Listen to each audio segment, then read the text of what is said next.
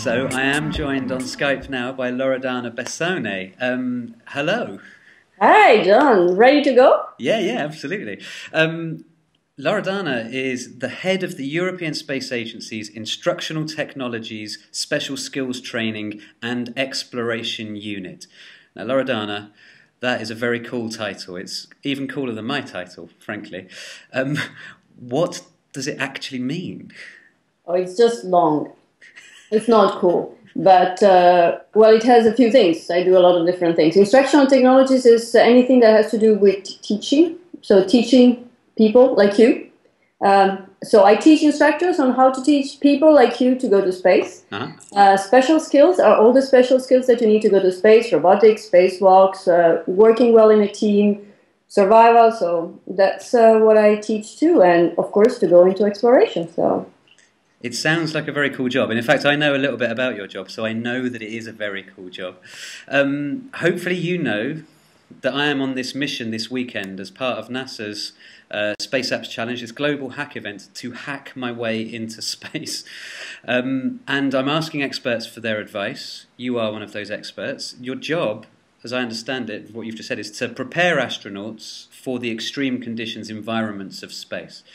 So I have um, about, I, I think, sort of 14 hours remaining until my deadline to get into space. Now, I'm assuming that's not the amount of time you would normally want to train someone. So, what are the most important things that I need to achieve in that time? You need to know exactly what you will need to do when you get there. Those are the very important things. Once you know, memorize and make a mental simulation for all the steps that you need to go through. Make sure that you're relaxed and you visualize everything working perfectly. Make sure you visualize what you'll need to do to react to emergencies, how you need to communicate with your teams, what you will need to do in order to make sure that all your systems go well, and then relax. Okay, that is excellent advice. Um, how, I mean, I'm going to quite an extreme environment. Um, how, how am I going to find, how am I going to relax up there, Loredana? Adapt to it. How do you relax when you go underwater? How do you relax when you fly? How do you relax when you go to a forest? You just feel it and then you live with it. So don't try to conquer it. That will not work. Live with it. Live with it. Yes. Brilliant. Smell okay. it. Feel it. Listen to it. Listen to your gut feelings and move in it. Cool. Thank you. Um, I spoke earlier today with Alex Kumar, Dr. Kumar, um, who's at the Concordia station in Antarctica. He says hello. Um, because he joked that you certified him to go there to do that job. He said that Loredana said that I was mad enough. And he said that one of the things I absolutely had to do before I went was to speak to you to get certified myself. now, um, so I guess what are the special qualities that you're looking for in those people when you're sending them to those sorts of environments? Well, first of all, I don't certify people, I train them. Uh, they will get certified by other people than me. Um, but sure, they need to be ready to go somewhere like that. So you wouldn't, if you are panicking, it wouldn't be good for your colleagues. But you need to also respect your colleagues, be able to talk to them, um, work with them, work hard with them, of course, uh, you need to be able to be ready to adapt, I said before, to very difficult conditions, to people that are not like you. So you might not like them, but you have to live with them. And they might not like you, so you need to be ready to maybe not leave your socks around or uh, clean out after you if that annoys others. Uh, just respect them a lot uh, because they have a lot to give to you. And you need to be able to be open and listen a lot and learn from your errors. Um, everybody will make a lot of mistakes. You will make a lot of mistakes, but that's good. That's good. I think it's fair because if you learn from your mistakes, you're going to be smart after that. I agree with you. I think uh, making mistakes, taking risks, as you know, while no one's dying, is the best way to learn.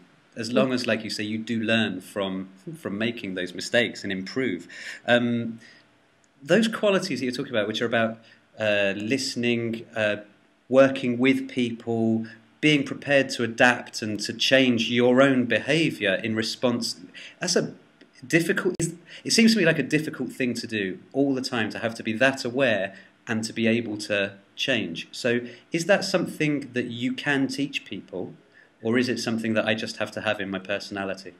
Oh, you learn that for sure. Um, I'm not sure I am going to be able to teach you, but you can learn it by yourself. If you're motivated to learn it, first of all, that's the first thing. You need to want to change, you need to want to be able to live properly with people.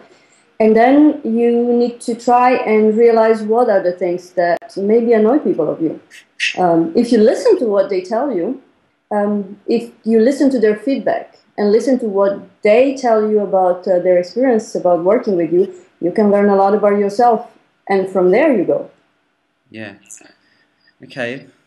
Good. Well, I'm pleased to know that I can, you know, learn uh, or that you believe that I can learn. I, I, hope that I'm a good listener as well, and that I like working in teams. I'm feeling a bit nervous about tomorrow because on this occasion, I'm working pretty much in isolation. I've got some amazing people actually at the Met Office today. That I look, I, um, I've been 3D printed. Ooh, wow, that's and cool. It is cool, isn't it? You can, maybe can't see there, but it's got my um, initials on it as well, so you know it's me. Wow. So there is maybe a version of me that can go into space as well. Um, but I'm I'm also an artist, you know, and I'm interested in that attitude. And I've read you quoted in an interview saying that working in microgravity is a bit like ballet. Mm. Now, I'm really interested in what value you think that the arts have in scientific research and space exploration, if any. Well, behind me, I have a lot of uh, science fiction books. Um, I think artists have gone to space much earlier than engineers um, they have created a lot of the images that we have of uh, moon base, Mars base. I think that's very valuable because if you don't imagine what is up there, you will never uh, try to even find a good play, a good way of going there. And then I think the more people like you or artists will go to space, the more it will be easy for people that have never gone to space, have never even uh, understood the engineering of space to actually live it and feel it. Because uh, you're probably much better than engineers like me in describing what is going on up there. So I think artists need to go to space. I'm really pleased to hear that. I also, th- I also think you're being a bit modest because I know you are an engineer, an incredibly accomplished uh, scientist, and uh, specializing in psychology. I think is is what you do. But you also have a very artistic sentiment. You describe yourself as having being very curious and enjoying finding out about lots of things. Well, scientists are curious. Yeah, and artists. We're yeah. All, yeah. Well, it's good to be curious. If you're not curious, you're actually not learning. So to learn, you have to be curious. So that's how we're the same, maybe artists and scientists having this curiosity, this desire to learn, and I think something very important about artists and scientists working together is that we all share the same desire to fail or to, to learn something new. What's the point at which the way we understand the world right now changes? Oh, and that's yeah. a very exciting way for me to work with the scientists and the engineers to, you know, then. um, and this ties in actually to as the director of human spaceflight operations at the Unlimited Space Agency. Yeah, wow. Um, I I get asked a lot, ESA, I love it. Um, I get asked a lot about um, why why should we go into space? Why do you want to go into space, Jon? You know, what benefit is there to the planet, the civilization, the human beings by leaving the planet? I don't see us leaving the planet. I see us exploring the rest of space, which uh, it doesn't mean leave the planet. It means going and finding out what's there. Uh, if nobody ever sailed, we wouldn't be able to go around the ocean. If nobody ever tried to fly, we wouldn't be able to go on holiday to the Bahamas. So I think we need to go there to explore it, to know what it is, how it is to live there. Because in microgravity, fluids, we don't work in the same way. So we need to experience this to be able to go and live there. Uh, short time, long time, and adapt to it. So knowledge, knowledge is exploration. This is why we're going. we, we've always done it. I agree. Uh, I agree with you very strongly, and it's um, it's nice to hear that because there's a lot of uh, people say well, it's too expensive. What's the point? We're doing this thing on Earth. There's people suffering here. But um, speaking to Don Thomas, uh, NASA astronaut earlier today, he described the Earth as being like spaceship Earth. We're all already in space. We're just, like you're saying, exploring some yeah. more of it. So, um, what advice, Loredana, do you have for some of the younger agents that I work with um, at the Unlimited Space Agency, particularly um, young women and girls, I suppose, from your point of view, your experience of having worked in this industry and in science? What advice do you have for them if they want to get into space? Um, I'd like not to make any distinction between uh, girls or boys because they're all equally qualified and they will all be equally good when they go. So, to me, no distinctions. They're just boys and girls that uh, should be interested, curious, as we said before. Um, go out in the world and explore it. Try to learn it, listen to it, feel it, smell it, understand it, explore it and explain it, adapt to it, and try to find the best that they find in this world, use it in order to be able to get ready to go to space because uh, by experiences and studying and learning, they will just be ready to go to space. And then get motivated to go because they will be able to go very far away. You think in the future they're going to be able to go very far away, further than we're going now? Oh, yes, and I'll envy them for that. Well, maybe we can go together. Yeah, but I might be too old when they go. No, the te- we'll all be we'll all be cryogenically frozen, and that's, uh, that's what I'm relying on. The point at which you know the technology hasn't arrived yet, that the technology will allow me to wait for it to arrive. Oh, we they, but they will go very very far. Yes, further than Mars. Um, Tim Peake was talking to me earlier about how uh, it was. It, it, it quite surprised me, shocked me nearly talking about how we would be making journeys to planets, maybe not just in this solar system, but beyond our solar system. And that is that something that you believe is in the not too distant future?